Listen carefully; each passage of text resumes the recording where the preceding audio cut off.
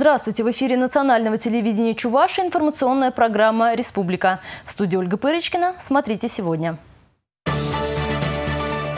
Каждый день на счету. Глава Чуваши ознакомился с ходом уборки картофеля в Маргаушском районе. Кровавый понедельник. За один день на дорогах Чувашии произошло более 10 аварий. На пути к сенсации чебоксарские археологи продолжают поиски усыпальницы Марии Шестовой.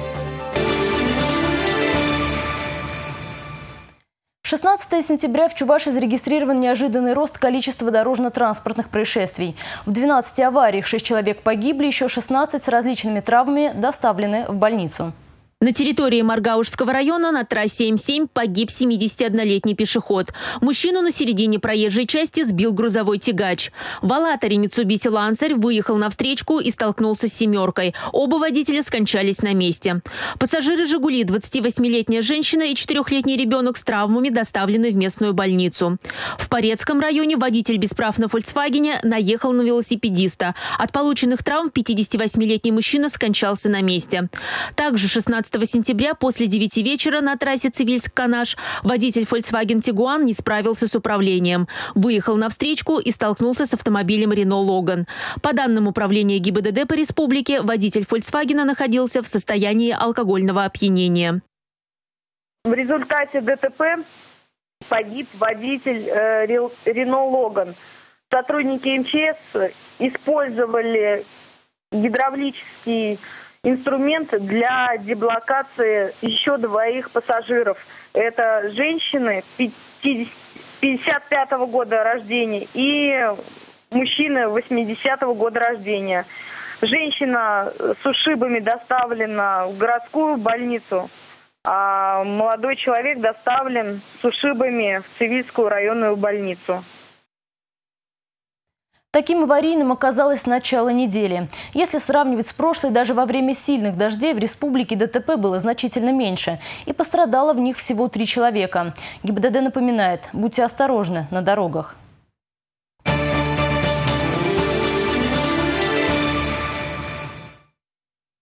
МЧС завершает спасательную работу на Дальнем Востоке. Об этом сегодня заявил министр по чрезвычайным ситуациям России. При этом он подчеркнул, что сотрудники ведомства продолжают заниматься восстановительными работами. Находятся в Преамурье и спасатели из Чувашии. На сегодняшний день э, наша группа из восьми человек переведена вертолетом э, в населенный пункт Тыр Ульского района Хабаровской области.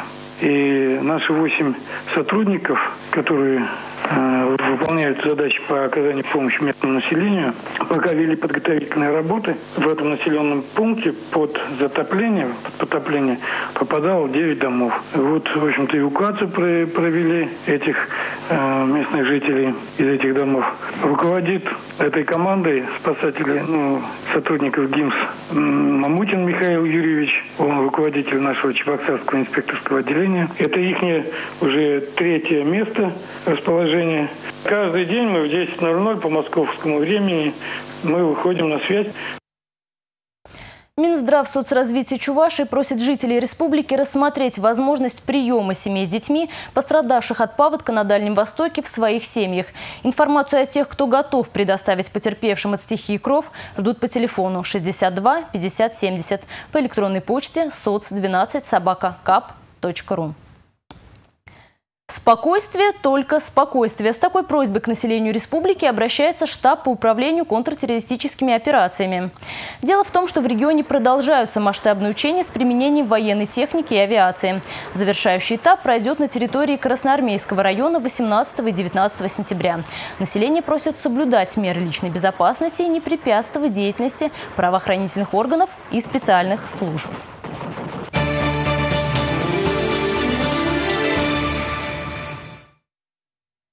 Каждый погожий день на вес золота. В Чуваш идет уборка картофеля и овощей. С ходом работ в Маргаушском районе познакомился глава республики Михаил Игнатьев. так вот день за днем, невзирая на погоду, в две смены в Юнгинском сельском поселении Маргаушского района идет битва за урожай. В полях работает импортная техника. Ручной труд практически не используется. На сегодня убрано больше половины всего посаженного картофеля, а это свыше одной тысячи тонны. Урожайность 200 центнеров с гектара. Подход к уборке здесь особенный. Весной второй хлеб посадили по голландской технологии, при которой междурядье составляет 90 сантиметров, при привычном для нас 75. В таких условиях корнеплод отлично растет и сохраняет влагу даже в засушливое лето. Средний сорт, хороший сорт. Покупатель очень красный любит. Ага. Поэтому сейчас там дальше кураж пойдет, голландский сорт тоже элитно. Свои покупатели, да, в основном? Ну, каждый год разный. Постоянные. В прошлом году Магнитогорск брал, в этом ага. году Ростов надо, но все закупает полностью. Уже договор заключили. Цена устраивает 7 рублей. Михаил Игнатьев порекомендовал цену не сбивать и активно принимать участие в городских выставках, ярмарках «Дары осени», чтобы горожане также могли закупить на зиму качественный, экологически чистый продукт. Глава администрации района Ростислав Тимофеев рассказал, что еще каких-то четыре года назад о таком урожае местные аграрии могли только мечтать. Ситуация была плачевная. На полях рос бурьян, об иностранной технике никто и не думал. Все изменилось, когда появились инвесторы. Инвесторы пришли. Сегодня они в этом поселении обрабатывают более тысячи гектаров земли, которые э, раньше были заброшены. И поэтому позитив он всегда есть. Потому что, да, и мешает э, сельское хозяйство, всегда мешает погодные условия. Но это объективный фактор. Но, как э, указал Михаил Васильевич, только технологии, применяя новые технологии, новые методы подхода к работе и на выращивание того же картофеля можно добиться результатов. Сейчас за маргаушскими овощами приезжают фуры из самых разных регионов страны. Только картофеля нынче на юг России везут около 500 тонн. Часть урожая идет на семена. В здании бывшей молочно-товарной фермы предприимчивые аграрии организовали овощехранилище. Для того, чтобы картофель и другие корнеплоды можно было хранить круглый год, установили оборудование, которое сохраняет специальный микроклимат. Места в картофелехранилище еще предостаточно. Главное сейчас – собрать то, что посадили весной. Не уберут урожай, они потеряют прежде всего в финансовом отношении. Мы, органы власти, должны создавать условия, там, субсидировать, все направления государственной поддержки вовремя трансформировать. Исходя из этого, на сегодняшний день у них есть интерес убрать весь урожай, который на сегодняшний день зреет на полях. Глава республики осмотрел также поля с озимыми. На данный момент ими в Маргаушском районе засеяно почти 5 тысяч гектар. Галина Титарчук, Евгений Анисимов, Республика. В посольстве Республика Польша в Москве проходит презентация промышленного и инвестиционного потенциала Чувашии. Нашу республику представляют руководители и специалисты промышленных предприятий, компаний, торговых организаций во главе с министром экономического развития Алексеем Табаковым. По данным таможенного поста, внешнеторговый оборот между Польшей и Чувашей за 2012 год превысил 8 миллионов долларов США. Сейчас в посольстве Польши работает наша съемочная группа. Репортаж вы увидите уже завтра в это же время. Основателю Чувашского драмтеатра и основоположнику чувашского кинематографа Иакиму Максиму Кошкинскому на днях исполнилось 120 лет. Жители деревни Кошкиново-Тимбаева Тетюшского района Республики Татарстан подготовились к этой дате основательно. На родине знаменитого драматурга побывала наша съемочная группа. Кошкинский или Кашкинский – вот в чем вопрос. Жители деревни Кошкиного-Тимбаева с огромной любовью относятся к своему земляку и подчеркивают его территориальную принадлежность даже в фамилии. Не только облик создателя первых чувашских фильмов, но и других выдающихся деятелей Тетюшской земли навеки запечатлели в мемориальном комплексе. Здесь прописались основатель чувашского алфавита Иван Яковлев, поэт Александр Тимбай, Александр Алга, певица Анна Казакова, прозаик Тихон Педряки, педагоги и этнографы Алексей Рикеев, Сергеев, Николай Резюков. Новой достопримечательностью села теперь любуются и стар, и млад. Дальние родственники основателя Чувашского драмтеатра и односельчане вспоминают его лишь добрым словом. Помню, когда в школе учился, значит, мальчишкой был. Вот. Тогда ведь больше внимания, можно сказать, уделяли тех, кто участвовал в войне. Кто приезжал в медалях, орденах. Вот. А вот Максим Кашкинский, он себя э, держался скромно, вот. И тем более он потом только узнали репрессированный. Он больно, э, так сказать, э, и постеснялся ли, или же такая обстановка была. Чувствовалось, что за ним следили. В 1937 году Максимов Кошкинский и его супруга актриса Таня Юн были арестованы НКВД. Национализм, контрреволюционная деятельность, связь с японской разведкой, подрывная деятельность в театре, чего только не инкриминировалось заслуженным артистам. Кстати, звание с них обоих сняли. Оба провели в тюрьме около двух лет. После освобождения уехали в Москву. Вся жизнь Якима Максимова Кошкинского была отдана искусству. Всегда, на всех этапах творчества ему была присуща энергия, инициатива инициативность первопроходца, благородное стремление служить народу. Он первым в России основал национальную киностудию «Чуваш кино». Ведь хотелось в одной картине рассказать, показать все стороны чувашской жизни. Это, конечно, была ошибка. Ну, нам отступать было нельзя. Народ ждал чувашскую картину. Всего за пять лет своего существования студия «Чувашкино» произвела шесть художественных и три документальных фильма. Это был настоящий культурный прорыв. Сегодня уникальные фильмы Максимова-Кошкинского хранятся в архивах и частных коллекциях США, Египта, Туркмении, возможно, в каких-то других странах. В Чувашии есть только несколько фрагментов фильмов «Ял» и «Священная роща». Остальные картины были уничтожены в конце 30-х. Мы планируем показы фильмов, созданных Якимом Максимом Кошкинским, а также демонстрации уникальных фильмов э, наших, в нашем кинозале. Есть планы и по благоустройству родового гнезда Иакима Максимова. Осиротевший дом 1909 года постройки может превратиться в музей. Но пока родственники известного режиссера, актера, драматурга, театрального педагога с нетерпением ждут встречи с Татьяной и Андреем Градовым, внуками Максимова Кошкинского и Тани Юн. Татьяна полюбила зрителям, снявшись в картине «Операции И» и другие приключения Шурика. Фильмография Андрея Градова, заслуженного артиста России, насчитывает несколько десятков ряда картин. Регина Кубайкина, Александр Петров, Республика.